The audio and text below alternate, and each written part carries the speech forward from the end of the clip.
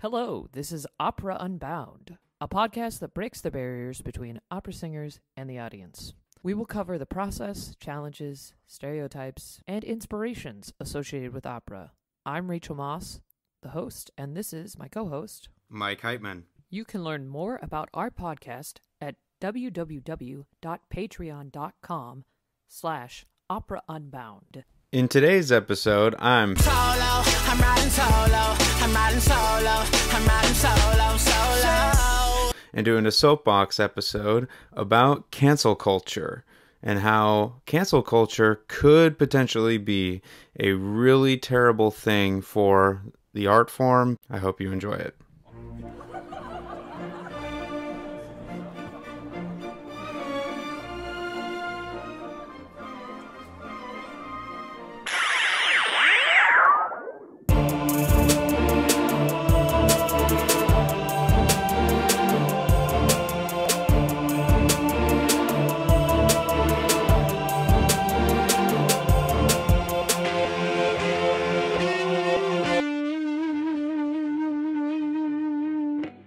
What's up, everybody?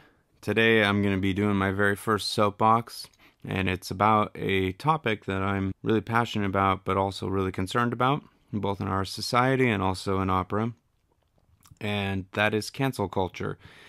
Um, the irony of this is that this is now my fifth time trying to record this podcast.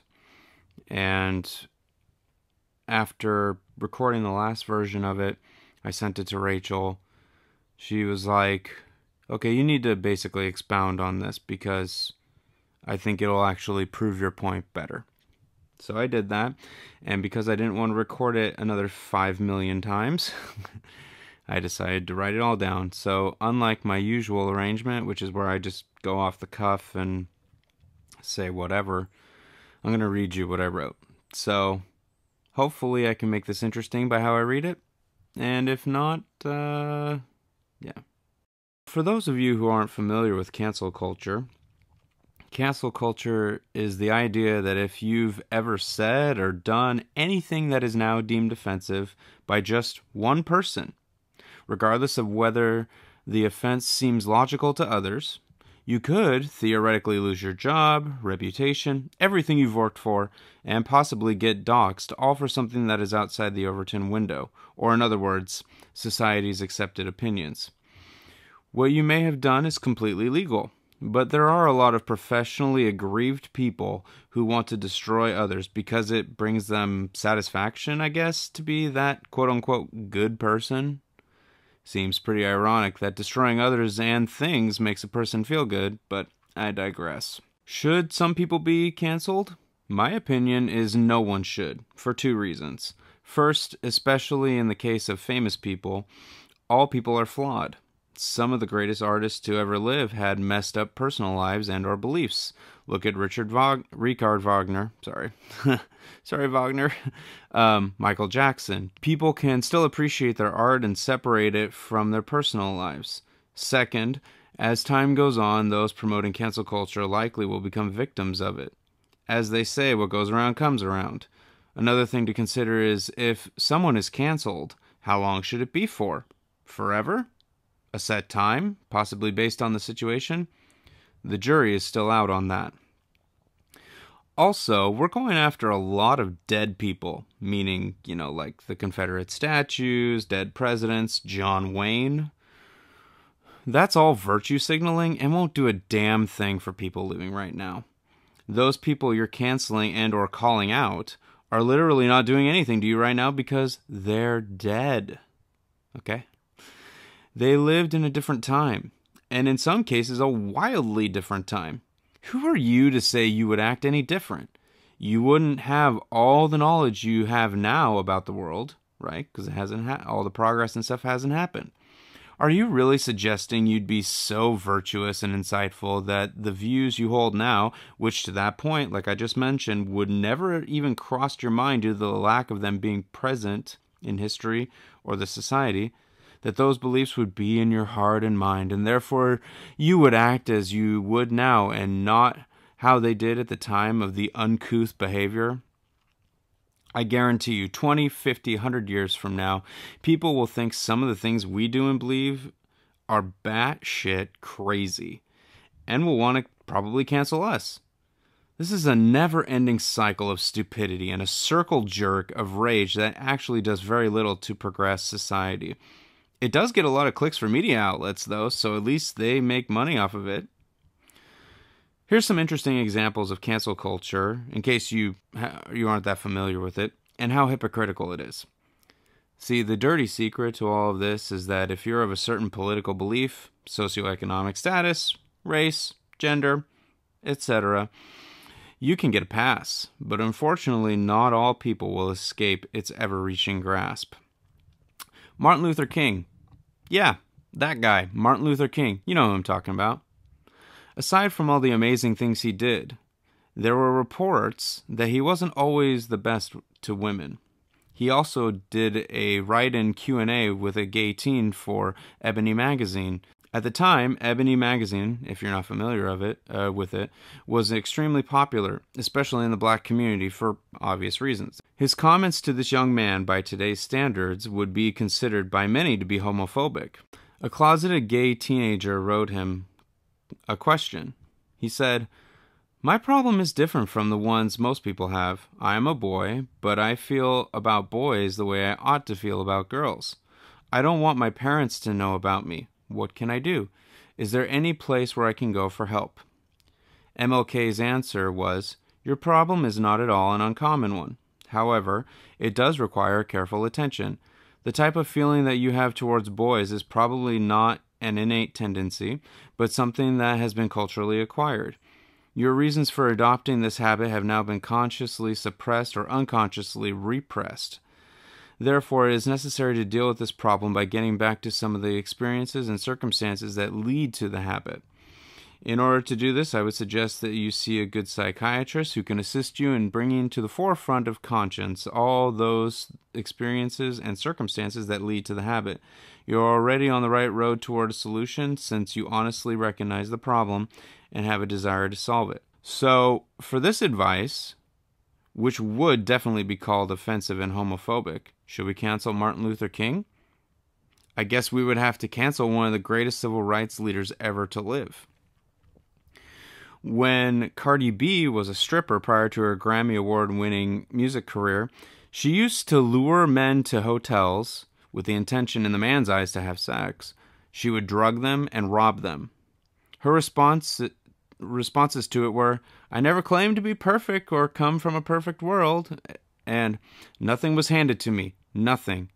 And also, I made the choices that I did at the time because I had very limited options. So, just to recap, since she hasn't gone to jail for this, to my knowledge, her rationale was I had no other options. She apparently had to do this instead of choosing a less problematic or legal or ethical way to go about living her life. That's a real slippery slope to chaos if that thinking is widespread and becomes the norm. Oh, I'm I'm sorry, Judge. I had to beat my significant other. They wouldn't do the dishes like I asked them to. Or, son, the money we had for food is gone because I needed money for all my personal vices. I had no other options. Guess you're going hungry. To some, these may be extreme examples. But are they really? This may seem like I'm making a mountain out of a molehill, but I'm not. I see where this is going because it's already occurring in modern culture. Remember when they canceled Gone with the Wind earlier this summer due to the racial stuff within it? Gotta love how they nixed the first movie that an African American won an Oscar for. I'd love to know what Hattie McDonald would say when she found out about that. Too bad she's no longer with us. Next on the chopping block was the decades long running show Cops, due to how it portrayed cops in a positive light. What many don't know is one of the co creators, John Langley, was interviewed, and he said they overshow cops dealing with white subjects versus black subjects because they didn't want to enforce the stereotypes about black crime. But that wasn't enough for those people. Oh, contraire, mon frere. Then the mob canceled Paw Patrol. Yeah, you heard that right. Paw Patrol, the kids show. Don't get me wrong. As a parent, I understand how certain kids shows repeatedly played make you want to slowly scoop your eye out with a rusty spork, but to invoke Joe Biden, Come on, man. This is insanity. Going back to Cardi B, let's look at the double standard. How is it not okay for Bill Cosby to drug women and rape them, and therefore go to jail for it, justifiably, I, I will add, but okay for her to do what she did, especially after she admits it publicly? We can all agree what Cosby did was atrocious, and it was. But why isn't Cardi B at a minimum canceled? If not in jail, clearly the standard isn't the same. Speaking of applying the same standards, or not for that matter, look at how the media and some of the loudmouth people on Twitter treated Justice Brett Kavanaugh's 30 plus year old rape allegations from his youth versus Joe Biden's accusations by Tara Reade when he was a sitting senator in the 90s. Surely we can agree that the actions of a late teen, early college age person should be scrutinized differently than a fully formed adult and elected senator. The people who screeched the loudest about believing all women during the Kavanaugh hearings were either deafeningly silent with Biden's credible accusations, which is their standard, and some flat out saying, I just don't feel comfortable throwing away a decent man that I've known for 15 years in this time of complete chaos without there being a thorough investigation, as Alyssa Milano did. She also came around to the idea of due process in regards to Biden, despite clearly not being for it in the Kavanaugh hearings. Is your head spinning yet? In the opera industry specifically, we have some, namely Placido Domingo and James Levine, who have had a lot of sexual impropriety accusations thrown into our discourse. They've been fired from their positions in future work, all from accusations. While a ton of accusations being piled up does make it hard to dismiss them, until it's gone through an actual court process, they are just allegations. You know, I could accuse Rachel of sexually assaulting me multiple times. For the record, she has not, just to be clear. If it was taken seriously, she might never be hired again. All over an accusation I made up. And that's what's bullshit about believing all people no matter what they say.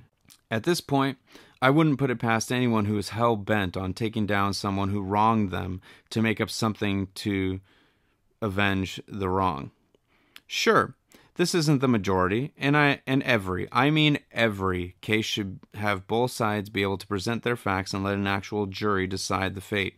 The court of public opinion is so toxic, inherently not legal, and should not be the standard we live by. Yet it seems to matter a hell of a lot more than the actual justice system. To be more accurate about these two men, let's look at what was done to them in regards to these accusations.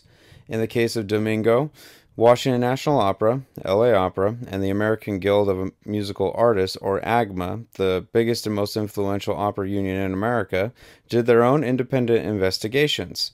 They covered a combined 27 individual accusations of impropriety, and all three organizations found Domingo guilty of abusing his power within the industry in exchange for, shall we say, certain favors. Again, these were not, and I repeat, they were not legal investigations, so they do need to be taken with a grain of salt. The politics and optics of opera organizations of this magnitude are going to be taken into account when coming to any conclusion. It is 2020, after all, where companies and organizations are more worried about backlash and being sued than necessarily the facts.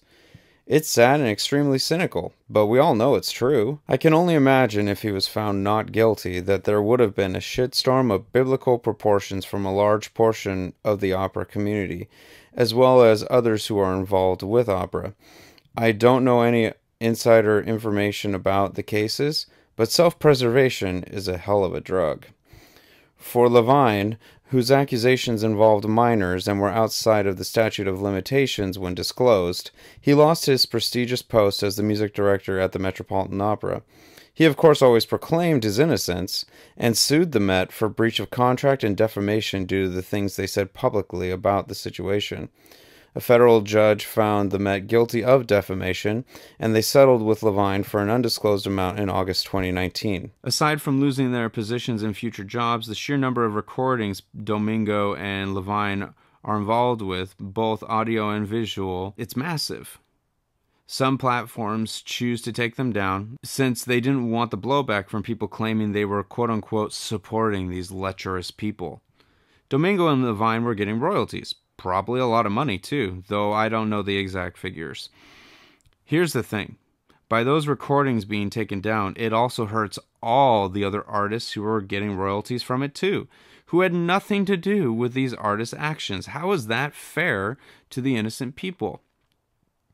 So, cancel culture is stupid and will more than likely come for you eventually if you ever have a strong opinion and make the unfortunate choice of voicing that online or around the wrong people.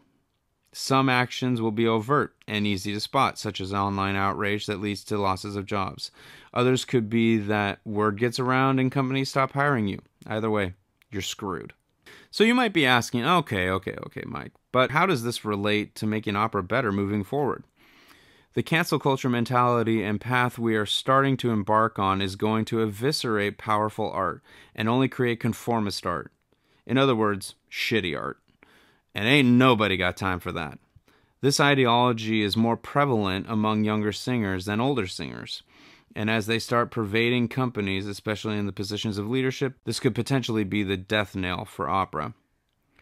As much as I loathe the saying, I'm speaking my truth, because to me there is no my truth in most things. There is the truth and your opinion.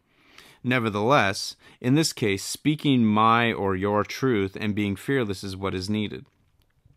What we need are singers and companies that follow the mantra being real is better and more important than being right in society's eyes. Meaning, if we are true to the realness of the show we are putting on, however offensive it may be, audiences will appreciate that effort a lot more than appeasing the extremely small, uber vocal part of social media that seems to never be completely happy unless you submit to all their demands. You know what is amazing about most people, both in the industry and audience, is that they can walk and chew gum at the same time. I know! Your mind must be blown right now. Believe it or not, the mature ones can separate art from its creators. They realize that just because a company puts on a particular show, it doesn't mean it automatically supports the views or actions within it. I'm pretty sure most people understand that if you put on Sweeney Todd, you aren't pro revenge mass murder and stuffing human remains into meat pies. Likewise, if Dead Man Walking is performed, the company is pro death penalty. Honestly, it's dumbfounding to me how some think a company's stance or lack thereof on a particular subject is something that even matters. What matters should be do they do good work? If not, a social justice themed opera won't save them, nor will coming out with a particular stance that is approved by the powers that be pull them to shore in a tempest. You want to do an extremely offensive opera due to the subject matter or how you're doing the production? Do it. Stop being afraid. People are already super judgmental no matter what you do. To quote Ricky Gervais, just because you're offended doesn't mean you're right. The same goes for people who blow up your social media after word gets out about your show and they don't like it. I'm not saying every show has to be controversial. I mean, unless that's your company's mission. But grow a pair and take some risks. If you do it in a powerful and convincing way, it will be hard for rational people to think you're the evil one the haters claim that you are. We have to respect our audience's intelligence and assume they can handle anything we put in front of them. They all watch serial killer documentaries, horror movies, and Honey Boo Boo. Ergo, opera doesn't need to use kid gloves anymore. If you want an easy out in this situation, program notes are the simplest route. Mozart wrote some very sexist operas based on our tastes now. We can't be surprised he wrote them that way, however. That's how the society was at that time. Should we ban some of the greatest opera music ever written based on someone working with the most current information they had? No. Audiences understand that it's from a different time, and if they don't, perhaps they need to do some reading on their own about world history and culture. In fact, all people do, myself included. If a company is truly worried that the audience will complain about a show's content, they can do their version of the views in this production do not necessarily reflect the views of our company or the artists involved. These kinds of disclaimers provide cover for potential problems down the road. Mozart is an easy one, though when we get into things like perceived or, overt cultural appropriation and race issues, like in Madama Butterfly, The Mikado, Porgy and Bess, even The Magic Flute, there needs to be discussions within the company on how to address overtly racial libretti and or doing a piece that race is a major part of the story when your casting personnel doesn't match those races and ethnicities within the show. This may mean tweaking the libretto, making changes to make up for people who aren't the race of their character, and avoiding stereotypical racial actions and or accents. All of what I just said is taking a pragmatic approach to the situation. If you want to do the easy route, do that. For the most part, it won't turn your show into a quote unquote problem child that might wreak havoc. However, purity standards in opera are a minefield. While it is preferable to find the person who is the right race, sexuality, or ethnicity they are portraying if it is relevant to the plotline, sometimes that's not doable, and we need to make sure companies don't go under when this is the case. It's not hard to imagine that if you have to have a similar background to the character you're playing, that roles will be eliminated for people in opera. Speaking specifically of American companies, which use a lot of American singers, how many are going to be able to legitimately play European nobility with these rules in place? How about murderers, seducers, or seductresses? And don't even get me started on trying to find legit bird catchers to play Papageno. So, what about pants roles, where women traditionally play boys? The vast majority of women portraying them have never been teenage boys, so how would they know how Cherubino really feels when he sniffs the Countess's ribbon and gets an erection? Okay, so the erection isn't in the libretto. But it wouldn't be hard to find a teenage boy who, when the mere breath of someone they are interested in hits their body, they need to leave the room to avoid an embarrassing situation. Some days, when you're a teenage boy, you are literally millimeters or seconds away from being the laughing stock of your friends in school. My point is, the standard inevitably will lead to friction and inconsistency in how roles are given out. Opera is already hard enough to do in staff. We don't need more rules, especially when the logic of the rules can't be applied equally to all. In the age of cancel culture, and where sane people seem to not have a backbone due to fear of retaliation, it's now time to step up and really be fearless. If by doing all this, opera finally dies, the final cadence will be as dramatic as the end of a Verdian tragedy. Toi, toi, toi, amici. Thanks for listening to this podcast episode. We hope you enjoyed it. We'd love to hear your thoughts and requests, so leave us a comment below. For more information about the podcast or for extras, check out our Patreon page, www.patreon.com slash operaunbound. You can help support the creation of this and much more content for as little as $3 a month. Like and subscribe to our channel, and also follow us on Instagram at Opera Unbound to stay updated. Ciao!